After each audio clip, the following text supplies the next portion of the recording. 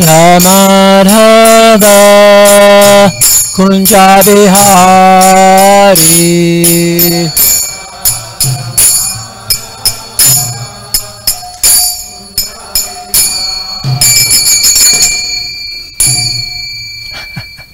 जय जाम विष्णु पाद परमहंस प्रभाज कचार्य आस्त थर सत शिशिमार इस डिवाइन ग्रेस ऐसी भक्ति वेदांत स्वामी प्रभाद की जाए Jai Vishnu Pad Paramamsa Parvajikacharya Asta Tarsata Shishimad Shringa Guru Shili Bhakti Siddhanta Saraswati Goswami Maharaj Ki Jai. Anantikori Vaishnavrinda Ki Jai. ISKCON BBT Founder Acharya Srila Prabhupada Ki Jai. Namacharya Srila Haridas Thakur Ki Jai.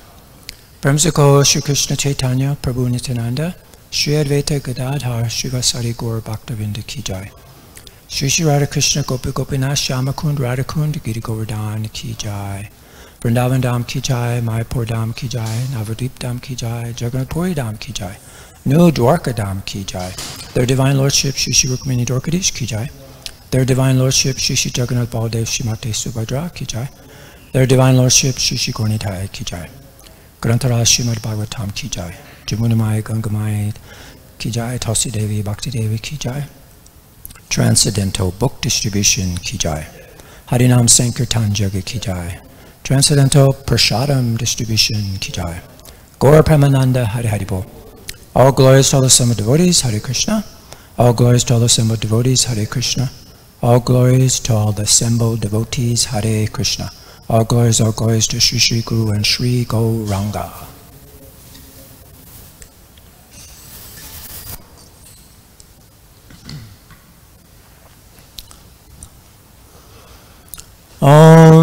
Namo Bhagavate Vasudevaya.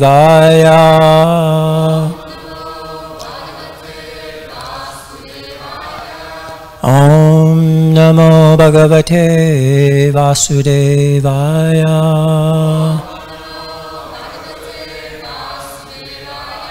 Om Namo Bhagavate Vasudevaya.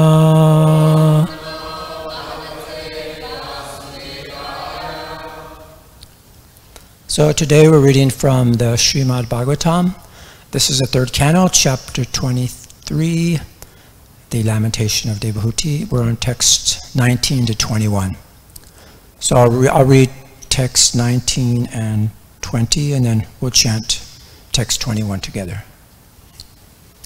Okay. So today's class is about God gifted. Are you God gifted? There's a nice quote, I think, that um, kind of summarizes or encapsulates this chapter. What is, the, what is difficult to achieve for determined men who have taken refuge of the Supreme Personality of Godhead's lotus feet? His feet are the source of sacred rivers, like the Ganges, which put an end to the dangers of mundane life. so, dear devotees, this uh, 23rd chapter of the Srimad Bhagavatam, is going to offer a profound message that will challenge us to examine what it means to be truly alive and to consider the gifts God has bestowed upon us. Being God gifted, it's not just about extraordinary talents or abilities, but also about recognizing that the greatest gift is the opportunity to realize our spiritual nature and develop our loving relationship with Krishna. So let's dive into it. I'll chant this. Chaksusmat padmaraga rajrabitishu nirmitai justam vichitra vaitanar maharar hematodanai. This one translation and purport with the choicest rubies set in its diamond walls. It appeared as though possessed of eyes. It was furnished with wonderful canopies and greatly valuable gates of gold. See that okay? Yeah. A purport. Artistic jewelry and decorations giving the appearance of eyes, are not imaginary. Even in recent times, the Mongol emperors constructed their palaces with decorations of jeweled birds with eyes made of valuable stones. The stones have been taken away by the authorities, but the decorations are still present in some of the castles constructed by the Mongol emperors in New Delhi. So we're going to show that a little bit. The royal palaces were built with jewels and rare stones resembling eyes, and thus at night they would give off reflective light without need of lamps. So text 20. Hamsa paravata vratais tatra tatra nikujitam kritiman manyaman aiswan aruhu yadiru yacha. Translation Here and there in that palace were multitudes of live swans and pigeons, as well as artificial swans and pigeons, so lifelike that the real swans rose above them again and again, thinking them live birds like themselves.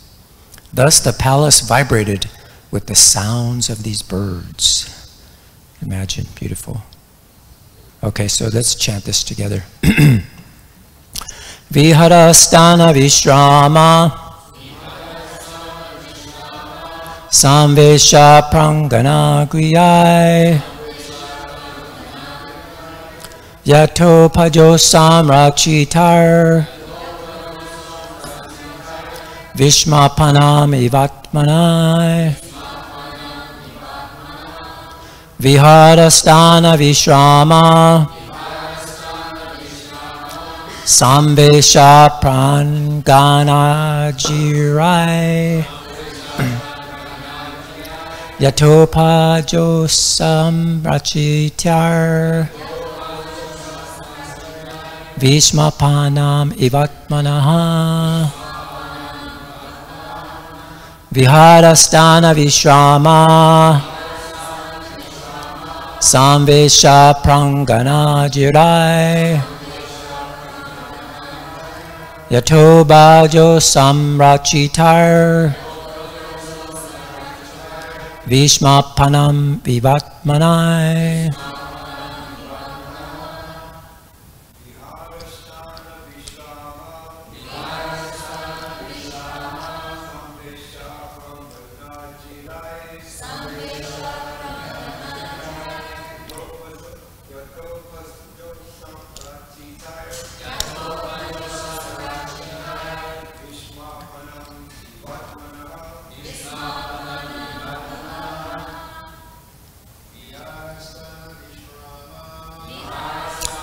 Stana Vishrama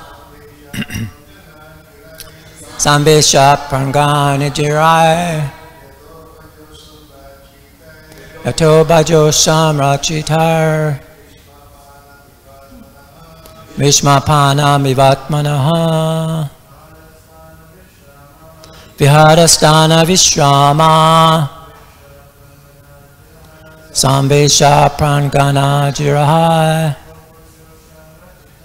Ato Bhajo Samrachitar Vishmapana Mivatmana Viharastana Vishrama. Sambhisha Pananganjirai Yato Bhajo Samrachitar Vishmapana Mivatmanaha Vaishnavis. Viharastana Vishrama Samvesha Panganja Jirai Jobantantanarachi Star Vishmapanamivatmanaha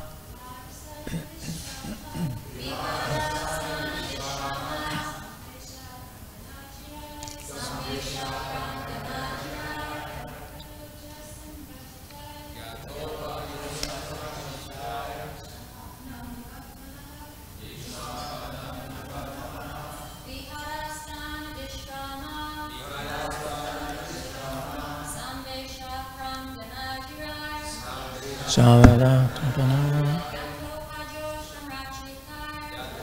Mivatmanaha Samada Sapana Vimasmanaha Vihadasthana Pleasure grounds. Vishrama. Resting chambers Sambesha Bedrooms. Prangana. Inner yards. Ajirai. With outer yards. Yata upajosam. According to comfort.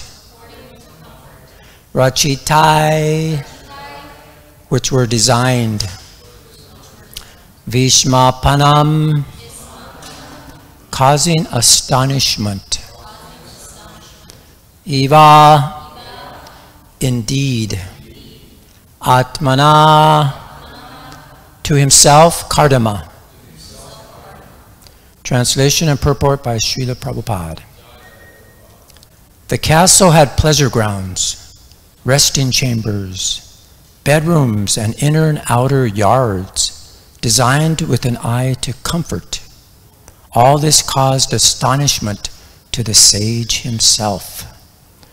Purport Kardama Muni, being a saintly person, was living in a humble hermitage, but when he saw the palace constructed by his yogic powers, which was full of resting rooms, rooms for sex enjoyment, and inner and outer yards, he himself was astonished. That is the way of a God gifted person. So that's that word in the beginning God gifted person. A devotee like Kardama Muni exhibited such opulence by his yogic power at the request of his wife. But when the opulence was produced, he himself could not understand how such manifestations could be possible. When a yogi's power is exhibited, the yogi himself is sometimes astonished. Jai. Om Gyana Timananda Shya Gyananjana Salakaya Chaksusun Militamena Tasma Shri Gurve Namah. Shri Chaitanya Manobhistam Stapitamyena Bhutale Swayam Upakadamayam Tadati Swapadantikam. Jai Shri Krishna Chaitanya Prabhu Nityananda Shri Advaita Gadadhar Shri Vasari Gaur Bhaktavinda.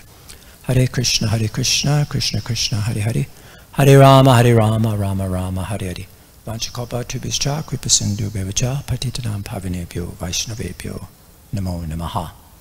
So let's do the translations one more time. With the choicest rubies set in diamond walls.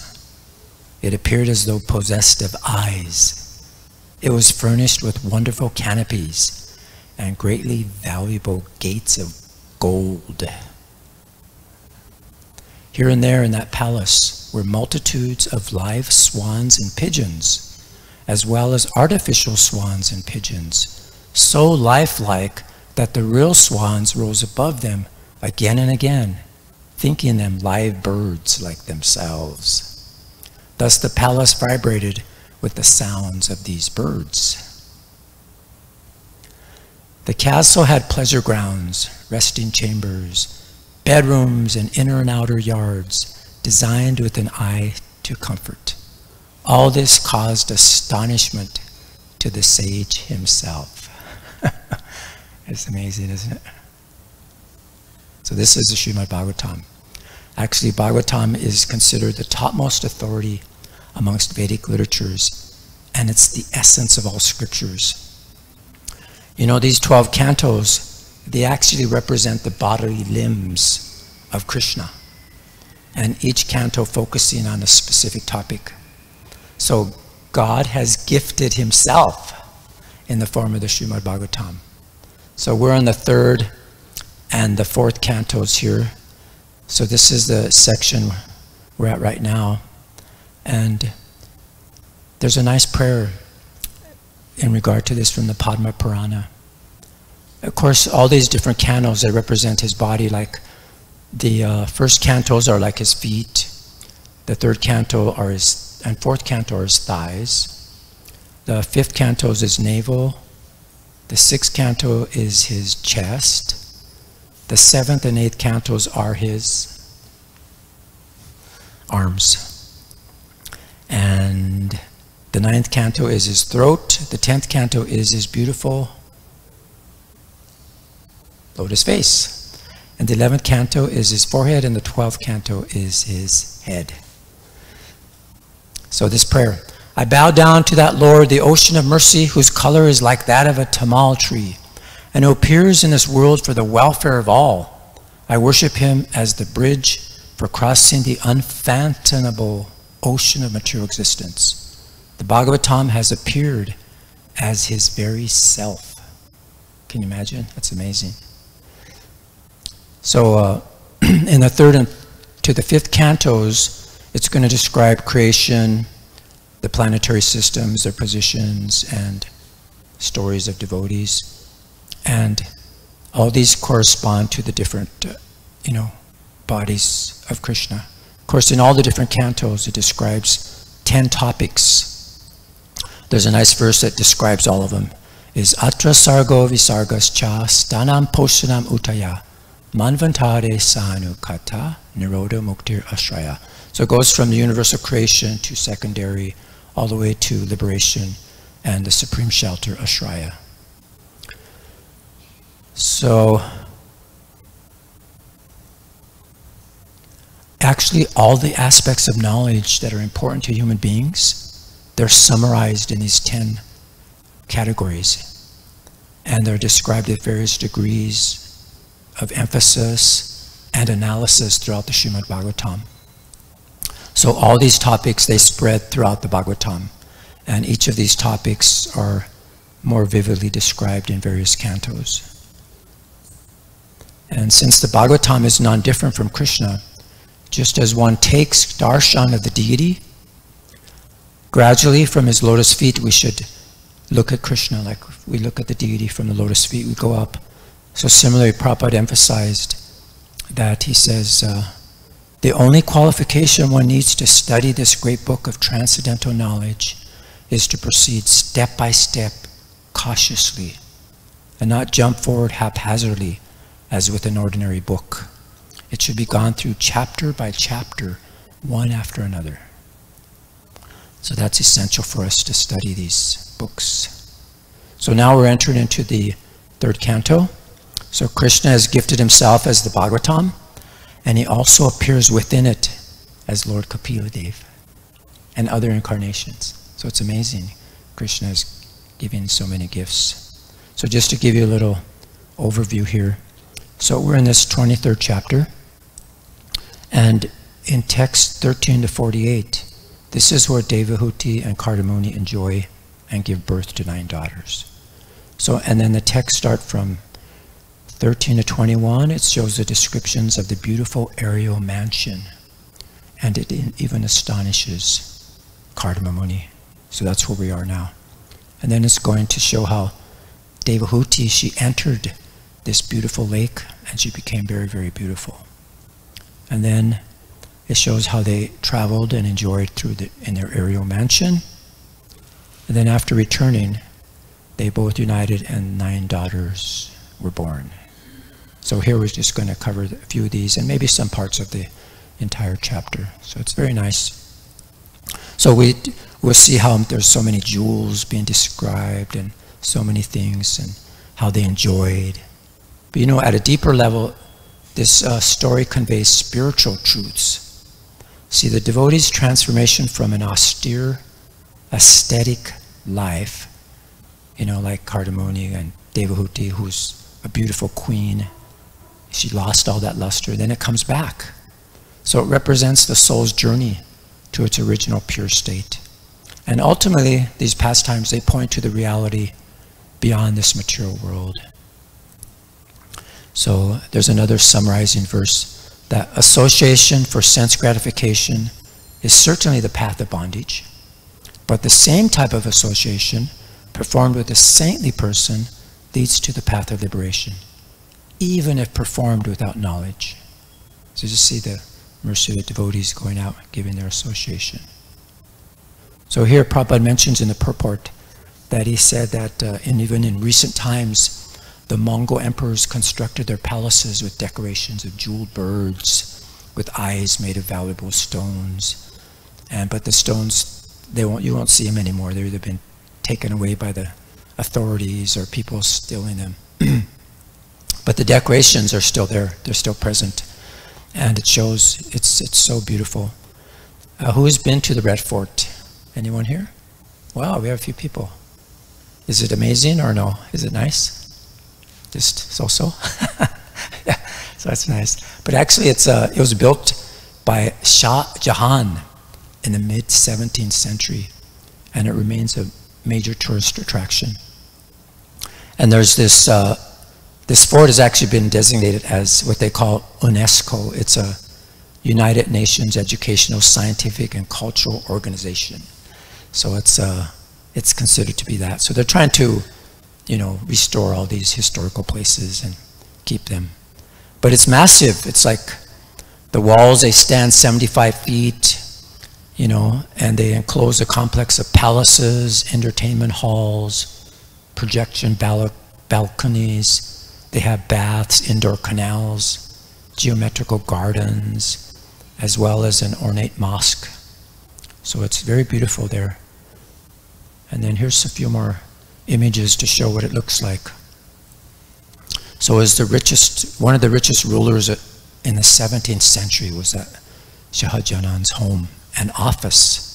It was this magnificent red fort. So he had many marble edifices. He had decorations of silk, gold, a lot of mirror work. So it's reached its cultural apex at that time. But then at that same time, that's when it eventually collapsed. And it was, they were driven out by the British. So you just see all these great gifts or great you know, things we create, they're eventually you know, they're destroyed or they're, we lose them in somehow or another. This is the material energy. And here's some other beautiful structures from around the world in different cultures. Just imagine how beautiful. These are just the ceilings and showing some of the chandeliers. And just imagine, as, as it's described in the Bhagavatam, that they're all made of gems, diamond walls, gold, etc. Just imagine the opulence, and that's what Kardamuni created just by his mystic abilities. So it's described as a metaphor. It's like, you know, Kardamuni's palace was dazzling with jewels, and it's likened to the moon surrounded by stars in the night sky. And also, Kardamuni oh, and Devahuti were described in the same way. he was like the moon, and Devahuti and all the, the women he created were like stars in the night sky. So it's beautiful. So here's another image just to kind of give us an idea the grandeur of the place. So it's a digital image, but trying to develop and show that there's jewels and gems within the walls and showing some swans that were just created, you know, probably made out of marble, you could see. So, and they show that these these places had multiple stories, very sophisticated decorations. So this is amazing. Such luxurious amenities. And there's another one, you can see some of the diamond, you know, inlays in the walls there. And some more birds. Like I said, it had indoor and outdoor areas like gardens.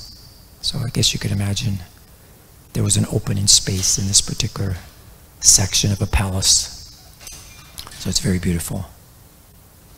And then here we can see, as described, palaces with decorations of jeweled birds with eyes made of valuable jewels. Didn't they make deities out of jewels also? I think in the past, right? Can you imagine a deity out of all these precious jewels? It'd be amazing. So, but yeah, it's, uh, but we, we see we like to imitate the beauty of nature and use all the opulences to describe things and things like that. So the nature of birds. But we shouldn't imitate birds because they have a bird brain, right? So we could just see here, check this out. This happened right in front of the BBT. There's this bird here. talking about birds and a bird brain. So just see the attraction to the reflection we have of ourselves and things in the and places in the material world. And why are we attracted to Krishna? Because we're covered by Maya. We're distracted by material objects, lust, anger, greed, and we're unaware of our glories, you know. But first we try to see him through our eyes, through the deity, so many things. And because we don't reciprocate with him, we don't interact with him. So Krishna's, or Prabhupada's given us the ability of these deities so that we can interact and develop our love for him.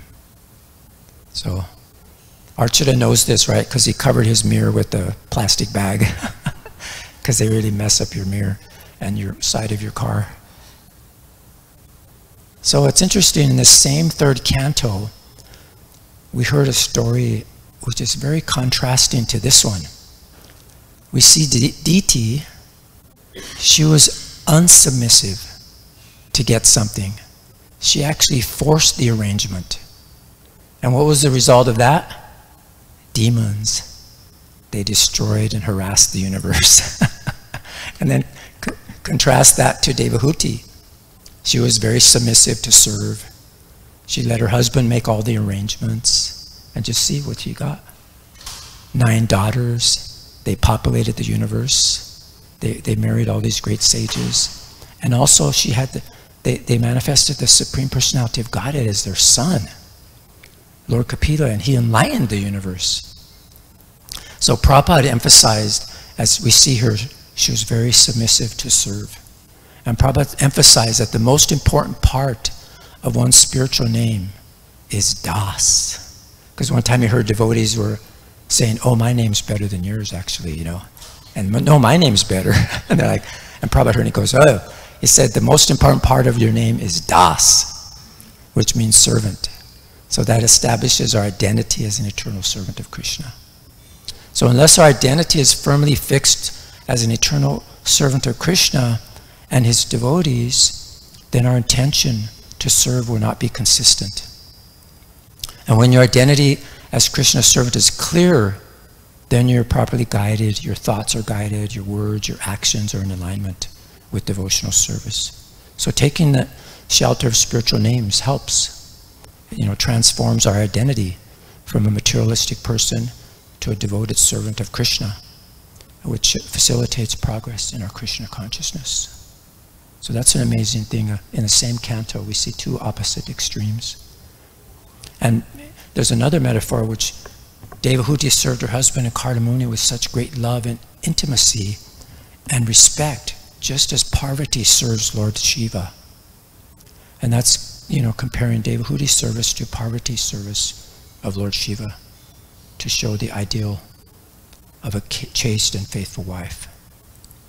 So the practical lessons we see that we learn Devahuti's example is the importance of cultivating a spirit of loving service, patience, and compromise within a marriage, while also maintaining our own spiritual growth and progress. So it's not like the wife needs to be, you know, subservient, but she can be a pillar of strength and support for the husband's spiritual and material well-being. So there's so many things that, you know, you get based on your genuine care and respect. And that's what Devahuti showed by example. So the key is that we have to adapt these timeless principles in our own circumstances. And the goal of marriage is centered on shared spiritual aspiration and selfless care for one another. So this is what Devahuti got, this fabulous castle that Kardamuni created for her using his mystic yogic powers and it's described a marvelous castle that the yogi himself was astonished at what he had created. So this is a very lavish vision, an opulent palace. It suddenly appeared in the sky, and it had fantastical, mystical-like qualities, and it allows us to just read that and visualize and just become amazed at the abilities that we that are there. So just see so then uh, Kardamamuni, it was described, he was so absorbed in his meditation and his devotion that he practically forgot that he had a wife. But Devahuti accepted the life of her husband and she became emaciated, matted hair, wearing tree bark. And Kardamamuni took compassion on her and he rewarded her. And then when Devahuti, she dove into this lake Bindu Sarovara, which contains sacred waters from the Saraswati, she found a house inside the lake, and where there was 1,000 youthful girls presented themselves for her maid servant. And then they brought her valuable oils and ointments, fine new clothes. They decorated her with very excellent jewels and a mirror. You could see she beheld her reflection and she saw that she was completely free of dirt and decorated with a flower garland. So just see.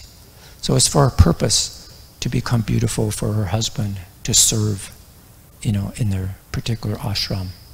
So this is what we should be attracted to, not so much our own reflections like the bird, the bird brain, but actually to be attracted to Krishna.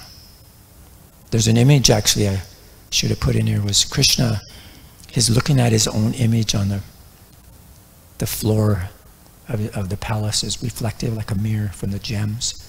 And he was so astonished at looking at himself. So even Krishna's attracted. So why shouldn't we not be attracted? So this is nice. So we can see there's a metaphor that of Devahuti. You can imagine this is just a digital representation of her lovely eyes are, are said to be compared to lotus petals. You see? So Devahuti's transformation from an austere ascetic to a beautiful queen, it represents the soul's return to its original pure state. And then Kardamamuni and Devahuti's sensual enjoyment in the palace and heavenly gardens. It symbolizes spiritual bliss and experience when the soul reconnects with the divine. So Kardamamuni's ability to expand into nine forms to satisfy Devahuti's desire for children it demonstrates the creative power of yogic abilities. So we should see that it's not merely sensual pleasure, but it's a representation of divine love. And how the opulence described is like a, a metaphor for trying to imagine what the spiritual world is like. It's actually far more beautiful and eternal than any material creation. And then Kardamamuni's ability to grant Devahuti's desire reflects, reflects the idea that a true yogi or devotee can fulfill others' spiritual aspirations. So we see this, we had a vivid description of what's happening here in the great opulence and the journey of Devahuti. And it's interesting, she states one thing, after they enjoyed so much, this is something she, she stated a concept of being dead though breathing. And this is in this chapter.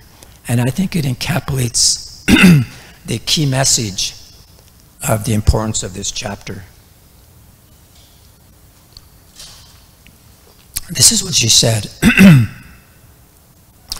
Anyone whose work is not meant to elevate him to religious life, anyone whose religious ritualistic performances do not raise him to renunciation, and anyone situated in renunciation does not lead him to devotional service to the Supreme Personality of Godhead must be considered dead, although breathing. That's a powerful statement. So that's, you know, that's found. We could see that. and this is what this chapter is illustrating. Get into these realizations. So we can see this as uh, being described here, this, the essence of this chapter that the message that the true life and the fulfillment can only be found in the pursuit of spiritual awakening and devotional service to Krishna. So without this higher purpose, our existence is no better than being dead, even though we're physically present and breathing. So this is like a wake-up call for all spiritual seekers so that we can prioritize our spiritual growth and seek guidance of enlightened spiritual teachers they can help us navigate this path of self-realization. So we see this is a, another metaphor about the nine daughters. They're described as charming in every limb and fragrant like red lotus flowers. Just imagine, Devahuti gave birth to nine daughters and later to Kapila Dev. an incarnation of Krishna, and who taught her the philosophy of Sankhya to help her attain liberation.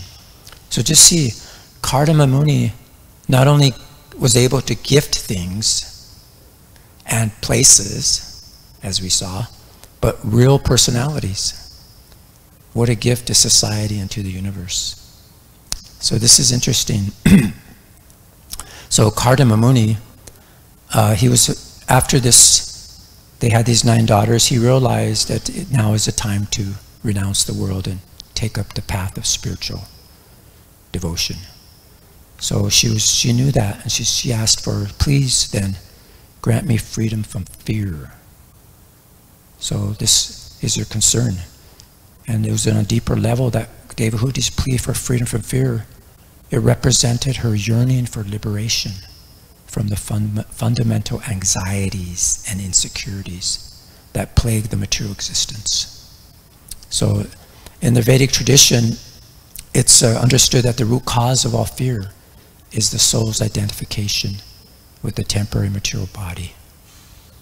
You see, and its attachment to worldly pleasures and, and relationships.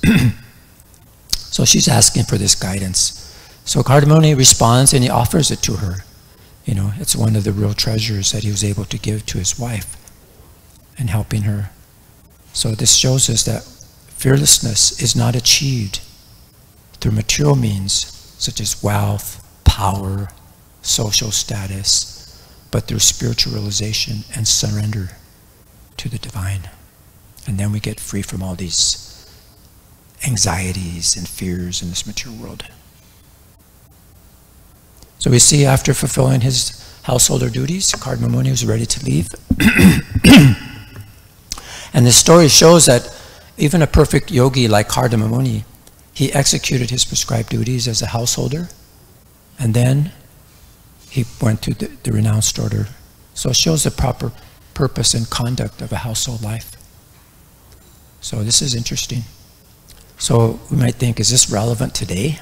You know, we could do this. So it's actually timeless wisdom. We should pursue on how it's showing us how to pursue spiritual life through you know our situation and our responsibilities. And the goal is actually to develop love for Krishna. So we have to, it's crucial to understand how Kardama Muni, his creation and opulence, was not the end in itself, but it was actually a means to a higher purpose. By providing Devahuti with the experience of material enjoyment and luxury, he was essentially allowing her to exhaust her material desires and attachments. And this was a necessary step in her spiritual growth, and it helped her eventually see the limitations and emptiness of worldly pleasures. But it's not that we have to go through that in order to become renounced, but actually if we're intelligent, we can read these stories and glean from these how we should act. So, yeah, so she understood that. so we should take advantage of spiritual association and practice bhakti yoga.